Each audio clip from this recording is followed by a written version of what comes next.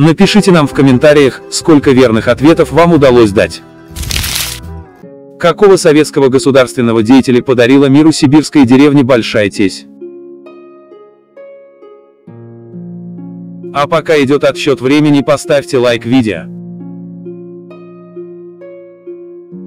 Это Константин Черненко. Его предок попал в Большую Тесь как сильный крепостной. К сожалению, деревня Большая Тесь исчезла с карты, так как была затоплена при наполнении Красноярского водохранилища в 1972 году. Это первые пять маршалов Советского Союза, из них были репрессированы, сколько?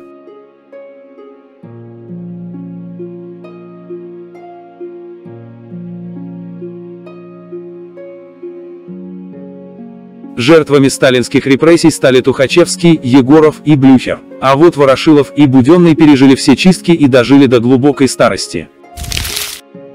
Куда в столицах союзных республик ссылали неугодных за пьянство и проституцию.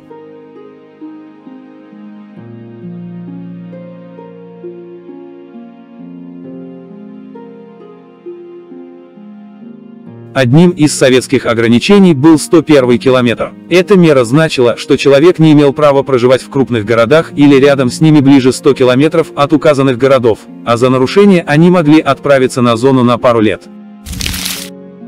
Какой мультфильм Уолт Дисней подарил Советскому Союзу в честь победы во Второй мировой войне?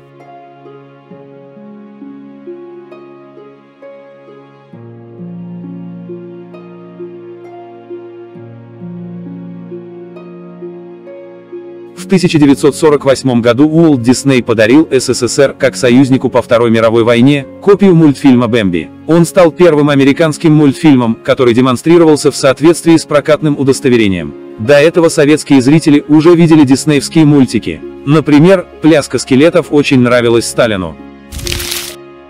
Какая награда полагалась советской женщине, которая родила семь детей?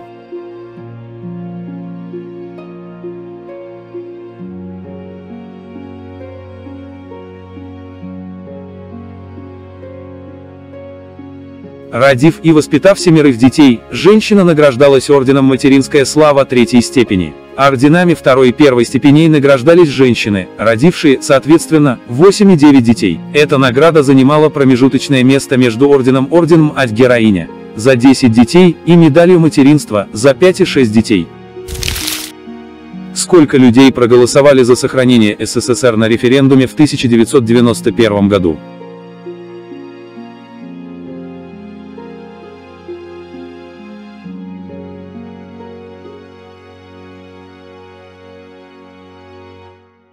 17 марта 1991 года прошел всесоюзный референдум, в ходе которого граждане Союза выразили свое мнение по поводу необходимости сохранения страны. В референдуме приняли участие 148 миллионов человек с правом голоса, из которых 113 миллионов, а это 76%, высказались за сохранение СССР, но вопрос в бюллетене имел двойной смысл, и трактовать ответ можно было по-разному, что и повлияло на распад страны. Сколько женщин было удостоено звания Героя Советского Союза?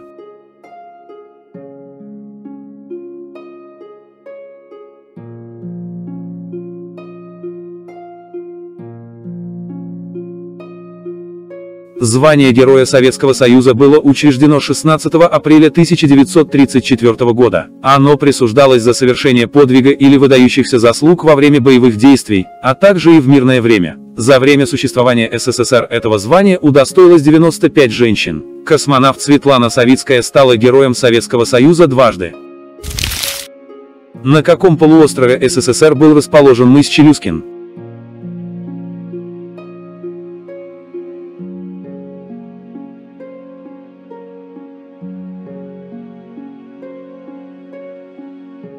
Мыс Челюскин – северная оконечность одноименного полуострова, расположенного на севере полуострова Таймыр. Это самая северная материковая точка Евразии, Азии и РСФСР, а также самая северная точка континентальной суши. В 1932 году экспедицией Арктического института под руководством Рудольфа Самойловича на ледоколе Семен Дежнев на мысе Челюскин сооружена полярная станция. Вторую зимовку возглавил Папанин, расширив станцию до обсерватории.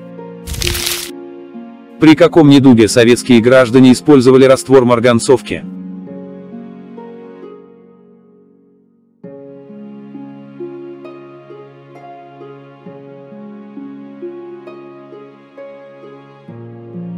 Перманганат калия или марганцовка – это один из наиболее распространенных антисептиков в советское время. Достаточно было растворить пару кристалликов в воде, чтобы получить необходимое средство. Таким раствором промывали раны, порезы, обрабатывали мозоли. Также марганцовка широко применялась при проблемах и расстройствах желудочно-кишечного тракта, в частности, при отравлениях.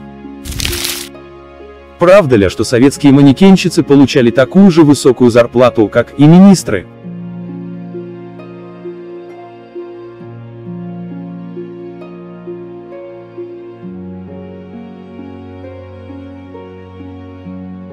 Зарплата советских манекенщиц была незавидной. В Советском Союзе профессия демонстратора одежды была непрестижной и малооплачиваемой, красавицы числились в должности рабочей пятого разряда. Ставка модели составляла 76 рублей, это меньше, чем ставка неквалифицированного работника. В главном женском журнале страны работница даже писали, что быть манекенщицей – позорно, и таким девушкам должно быть стыдно показывать чужие платья. Сколько созвездий на небе насчитали советские астрономы?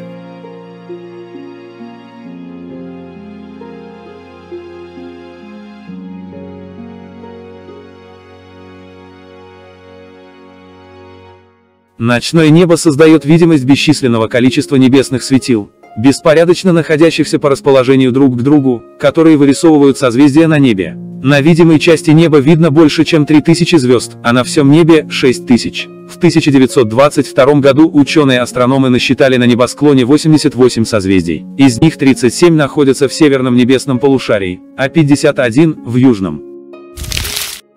Что в советские времена называли эгалитаризм.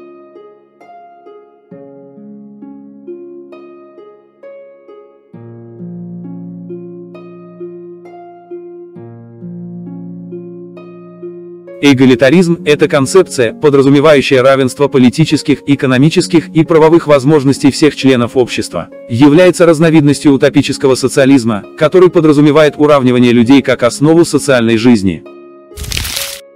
Что с 1972 года для советского человека означали цифры 362?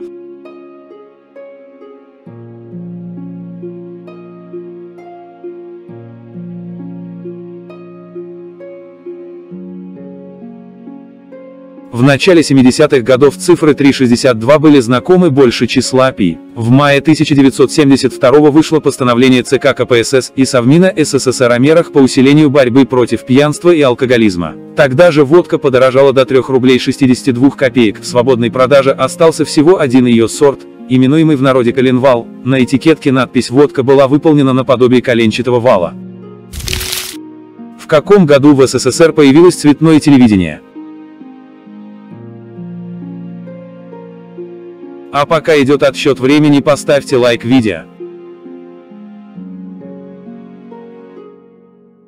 1 октября 1967 года в Москве в студии Московского телецентра на Шаболовке было открыто регулярное цветное телевизионное вещание по совместимой советско-французской системе СИКАМ на 625 строк. Открытие цветного ТВ было приурочено к 50-летию Октябрьской революции.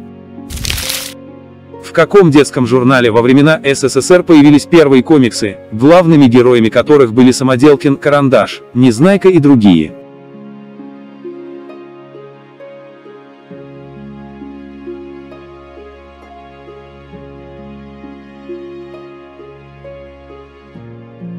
Веселые картинки фактически стали первым официальным изданием, в котором публиковался полноценный вариант советских комиксов. Их героями выступала группа веселых человечков, интернациональная команда персонажей сказок разных стран, Незнайка, Петрушка, Гурвинек, Буратино, Чиполлино, Дюймовочка, Самоделкин и Карандаш. Что общего было у Владимира Ленина и Александра Керенского?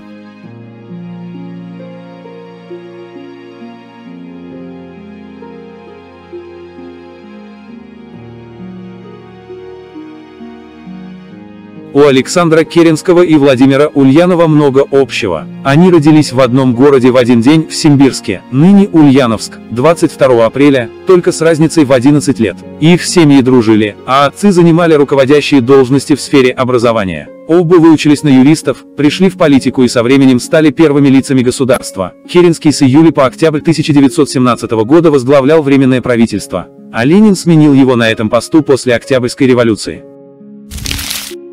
Анна Ивановна Щетинина первая не только в СССР, но и в мире женщина, занявшая должность. Какую?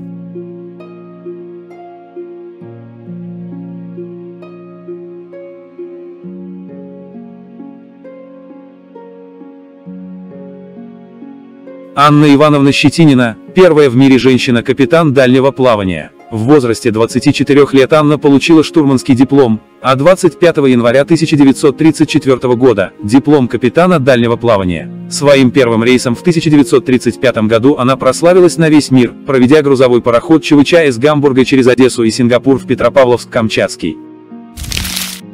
Сколько граждан СССР погибло в годы Великой Отечественной войны согласно заявлению Сталина в марте 1946 года?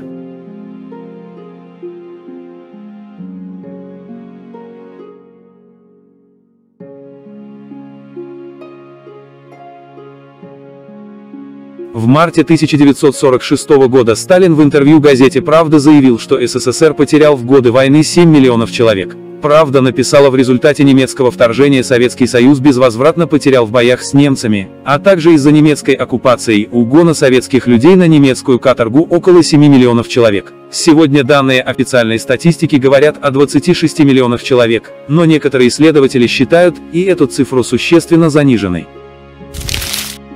Какое право получили в подарок советские футболисты за победу в финале Кубка Европы в Париже в 1960 году?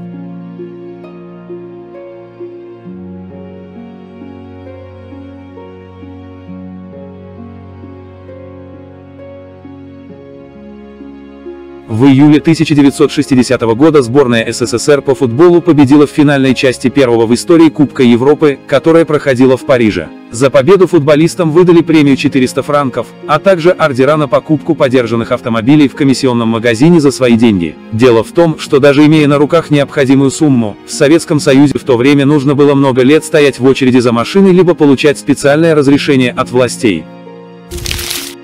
А теперь традиционный бонусный вопрос без ответа. Как называется этот предмет в данном коротком ролике, и для чего его использовали?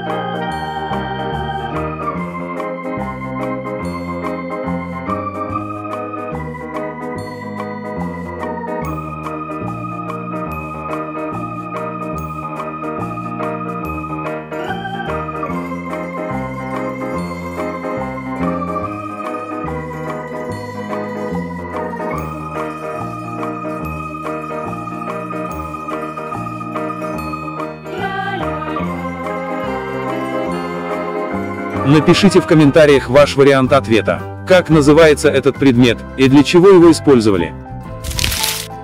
Надеемся, что вам понравилось. Мы порадуем вас еще массой увлекательных тестов на различную тематику. Подпишитесь на наш канал и вас каждый день здесь будет ждать новый занимательный тест.